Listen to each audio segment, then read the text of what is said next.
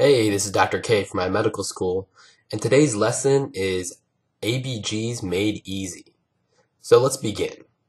ABGs, otherwise known as arterial blood gases, allow us to measure a patient's oxygen and carbon dioxide in their arterial blood. With these values, we can identify metabolic and respiratory acid and base disturbances.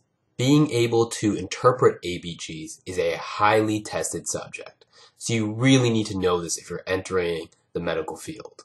So let's go over some easy steps to interpret ABGs. Step 1. First, calculate the anion gap. The anion gap is the chloride plus bicarbonate, taking that sum and subtracting it from the sodium from the chemistry. This is called the anion gap.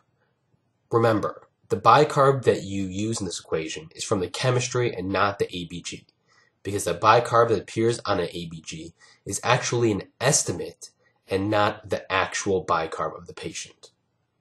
Step 2. Calculate the change in anion gap. We will assume a normal anion gap is 10. Thus, you take your previously calculated anion gap in step 1 and subtract 10 from that to get your change in anion gap. If this change is around positive 3 or greater, then you have an anion gap metabolic acidosis. Step 3.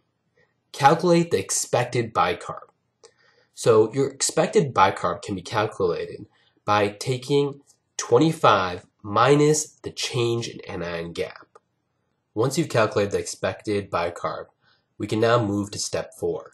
In step 4, we will compare the actual bicarbonate to expected bicarbonate levels. If your actual bicarbonate, that is the bicarbonate from the chemistry, is greater than the expected bicarbonate, then you have a metabolic alkalosis. If the actual bicarbonate is less than the expected bicarbonate, then you have a non-anion gap metabolic acidosis. Now let's move to step 5. In step 5, we calculate the expected CO2. The expected CO2 equals 15 plus the actual bicarbonate.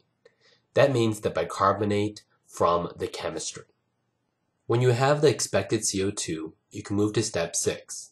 In step 6, we compare the actual CO2 to the expected CO2. If the actual CO2 is greater than expected CO2, then you have a respiratory acidosis. If the actual CO2 is less than the expected CO2, then you have a respiratory alkalosis. Now, let's move to step 7. Step 7 brings everything together. Basically, you compare the acid-base disorders you came up with and make sure they're consistent with the pH on the ABG. Whichever acid-base disorder is consistent with your pH, that is the likely primary disorder. Now, we went over these seven steps. Let's try to do an example just to make the idea more concrete. Try to work through the following example. Here we have ABG results with a pH of 7.1, a PO2 of 60, a PCO2 of 15, a chemistry with a sodium of 135, potassium of 3.8, chloride of 105, and CO2 of 7. Pause here and try to identify the acid and base disturbances present. Then in a few seconds we'll go over it together. Remember to go through each step, making sure you're making the correct calculations and identifying each disorder along the way.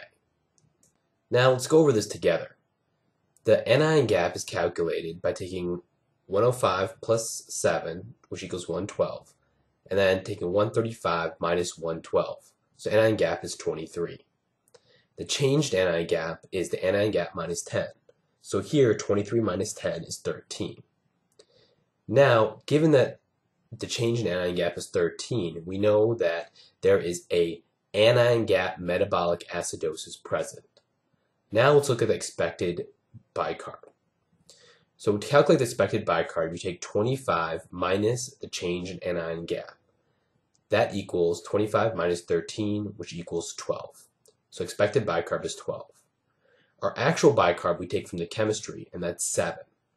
So our actual bicarb is less than our expected bicarb. So we also have a non-anion gap metabolic acidosis. Now, let's try to calculate our expected CO2. Our expected CO2 is 15 plus our actual bicarb. So 15 plus 7 is 22.